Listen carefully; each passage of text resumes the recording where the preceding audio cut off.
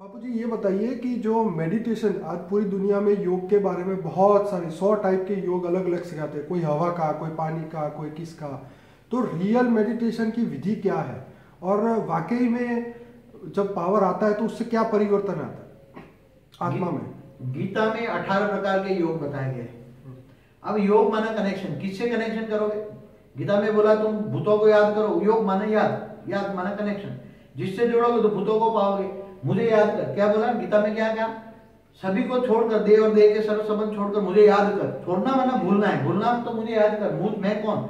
तो मैं almighty authority हूँ। क्या है? पर ब्रह्म परमेश्वर हूँ। सारे जहाँ का नूर हूँ। तो उसको पहले जानेगा। जानेगा तो उससे कनेक्शन आएगा। कनेक्शन जड़ेगा, योग लगेगा, प्यार आएगा। मेरा बेहद का बाप है। बेहद का रचयिता है। तो प्यार आएगा पावर आएगा। पावर आएगा तो उसकी आत्मा के अंदर इतनी पावर आएगी, इतनी पावर आएगी। कि वो धीरे धीरे धीरे आत्मा का कर्म बंधन से छूट जाएगा और उसकी आत्मा मन बुद्धि संस्कार बदल जाएगा और उसके अंदर हल्कापन आ जाएगा। वो आत्मा से धीरे धीरे धीरे परम परम आत्मा पवित्र आत्मा बन जाएगी। तो मतलब जितनी देर याद करेंगे उतनी देर पावर आए हाँ पावर आएगी मगर फिर पावर धीरे धीरे तुम देखोगे बोलोगे तो आप पावर तो वेस्ट होती जाएगी। तो इसलिए योगी क्या करते हैं? योगी किसी को मिलते नहीं है जुड़ते नहीं है। अपना एक गुफा में जाके क्यों बैठ जाते हैं? मैं दूसरे लोगों को देखूँगा भी तो पावर वेस्ट होगी। देखने से बोलने से आत्मा की एनर्जी वेस्ट हो जाती है। इसलिए फिर धीरे धीरे कर्मयोगी बनना है तो मन का मौन धारण करना पड़े। मन का मौन हाँ?